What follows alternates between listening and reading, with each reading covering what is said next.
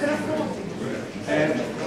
ladies and gentlemen, uh, welcome to this uh, session called Cooperation of the Opportunities and Governance in the High North. Um, my name is Petter Nore. I am the Chief Energy Analyst in the Norwegian Ministry of Foreign Affairs. I also uh, had the pleasure of being an adjunct professor at the uh, University of Nordland. And I also had the privilege of uh, serving three years as president of Norsk in Moscow uh, during the Shtokman negotiations, and so we might come back to that. so I, I have some own experience from what we're going to talk about this afternoon, or this morning. Um, let's go back very briefly to the end of the Cold War. There, something happened historically. Arctic changed from being an area of extreme conflict, tension and rivalry, to an area where common interest and sense of common purpose became prevalent, even in the present demanding geopolitical situation. So there is a shift, a very fundamental shift and make it very clear.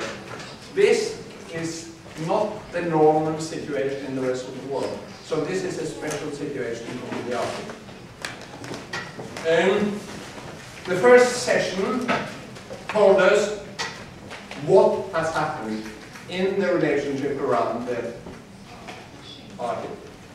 This session is going to be on why do, why did this happen? What is the driving force of actual, about us sitting here and expressing optimism about the future of the Arctic cooperation. Um,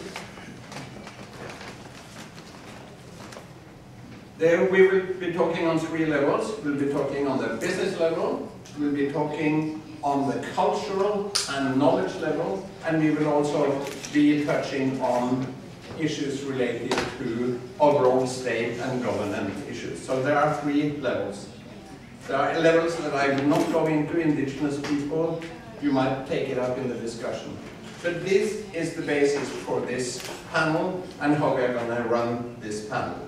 Now, the first, to start off, let me introduce the counselor at the Norwegian Embassy in Moscow, Sverre Rustad.